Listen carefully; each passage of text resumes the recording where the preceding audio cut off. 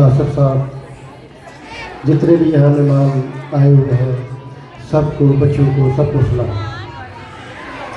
مجھے بہت خوشی ہوئی ہے کہ چودھری نظیر صاحب صاحب اور ملک آصف صاحب نے مجھے یہاں دعوت دی۔ ایسے فنکشنز میں جانا میرے لیے باعث اعداد ہے۔ کیونکہ بچوں کی حوصلہ افزائی کرنا، بچوں کے لیے ٹائم نکالنا، یہی سیکھا ہے ہم نے بچپن سے۔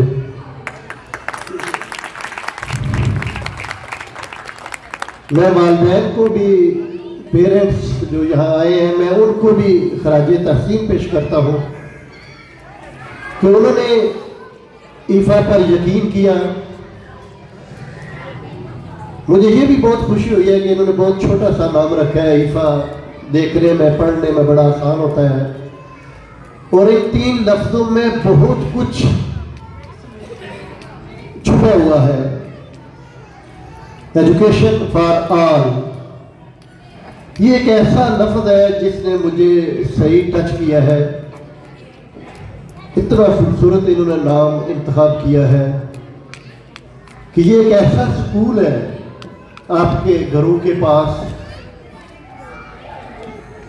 تو جو میرا خیال ہے ہر طبقہ کے لوگ،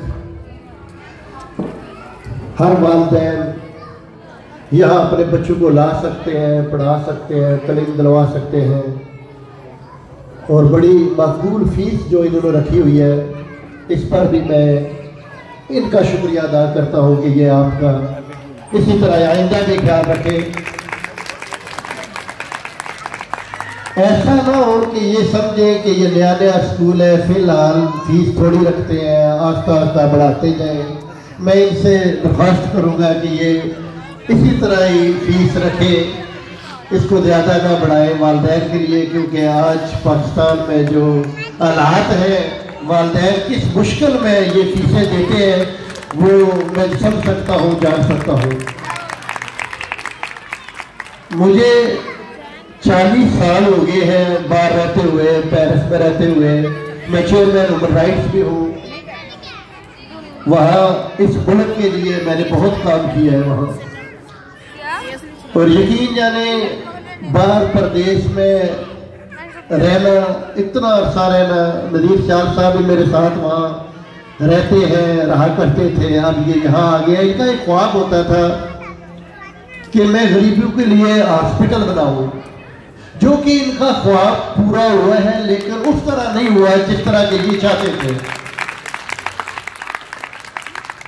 لیکن میں سمجھتا ہوں کہ اس آسپٹل سے زیادہ یہ زیادہ اچھا کام ہے جو انہوں نے یہ انتخاب کیا ہے۔ میں ملکاصف صاحب اور ان کے آئین خانہ کو بھی جو ہے بہت مبارک دیتا ہوں کہ انہوں نے یہ یہ سوچا کہ یہ کام ہاسپٹل سے بھی زیادہ ضروری ہے۔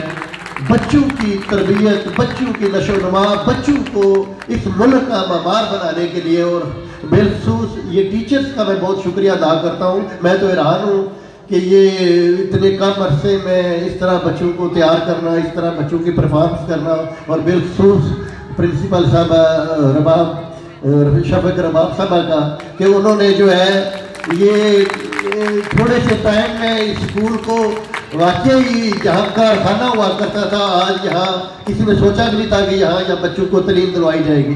اور یہ انشاءاللہ چند دنوں میں یا چند یہی کہہ رہے ہیں کہ سال دو سال میں یہ کم جگہ پڑ جائے گی ان کے لیے۔ میں کہتا ہوں کہ اگر پاکستان میں سب سے زیادہ کسی محکمے کی تنخواہ ہونی چاہیے تو وہ یقین جانے یہ اساتذہ کی ہونی چاہیے ٹیچرز کی ہونی چاہیے۔ جو جو ہمارے بچوں کو یہ بچوں صرف یہ اساتذہ نہیں ہے، یہ ٹیچرز نہیں ہے، یہ ماؤں کا بھی میں بھی دیکھ رہا تھا، یہ ماؤں کا بھی رول ادا کرتی ہے یہ دو کام کرتی ہے بے شک وقت۔ تو انہیں بھی سلام پیش کرتا ہوں میں انہیں۔ اور دعا کرتا ہوں ان کے لیے یہ اسی طرح ہی ان بچوں کے لیے بہتر تعلیم کے حوالے سے ثابت ہو سکے۔ میں اسی کے ساتھ ہی آپ لوگوں کا شکریہ ادا کرتا ہوں۔ اللہ تعالیٰ آپ لوگوں کو خوش رکھے، سلامت رکھے اور اس اسکول پر میں جہاں جہاں بھی جائے اسکول کی ضرور لوگوں کو بتائے، پڑوسیوں کو بتائے، رشتہ داروں کو بتائے کہ یہاں ایک ایسا اسکول ہے کہ جس کی فیس یہ ہے اور تعلیم جو ہے وہ بیکن ہاؤس یا ایجوکیٹر اسکول سے کم نہیں ہے۔ یہ اس لیول کا اسکول جا رہا ہے اور آئندہ بھی انشاءاللہ جائے گا۔ بہت شکریہ۔ Thank you